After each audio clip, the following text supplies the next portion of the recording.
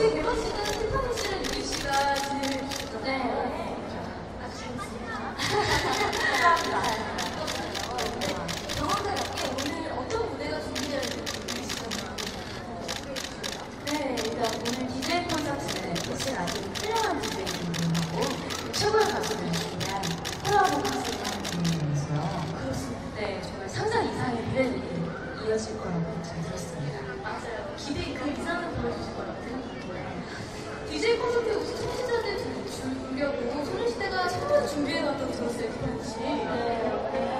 또 써니 씨가 소녀시대가 팬인데 한 만큼 어, 저희 청취자분들과 어, 좋은 선물을 나눠주고 싶어서 소녀시대가 살짝 준비해봤는데요.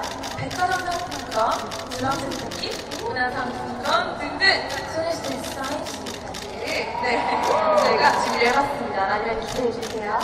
태연 씨 오늘 DJ 콘서트 컨셉이 함께 하는 거라 다들 분들랑 같이 오셨어요. 네네네. 태연 씨는 어떤 분들께 선물을 드릴까요?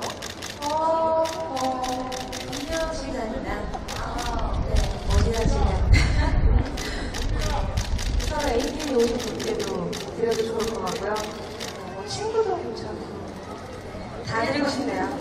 드리고 싶은 건 아니죠? 다 드리고 싶어요. 표현 씨는요? 어, 저는 딱 연인분들만 드리고 싶어요. 사랑하는 이런 추억을 모두 담으라고 가져가시면 질투도 안 하시고 로맨틱하시네요.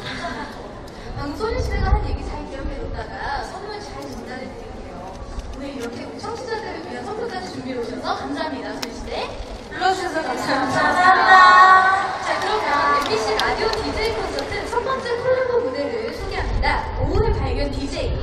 김현철 씨의 노래입니다. 춘천 가는 기차. 오!